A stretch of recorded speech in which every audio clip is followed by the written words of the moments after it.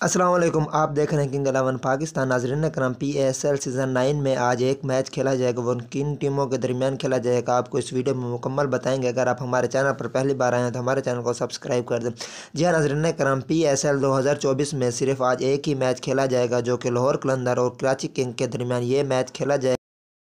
लाहौर, कलंदर और कराची किंग के दरमियान ये मैच शाम सात बजे पाकिस्तानी वक्त के मुताबिक खेला जाएगा। इससे पहले लाहौर, कलंदर अपने तीनों मैच हार चुकी है। नाजरन करम, अगर आपको वीडियो पसंद आई हो तो वीडियो को लाइक कर दें और चैनल को सब्सक्राइब कर दें।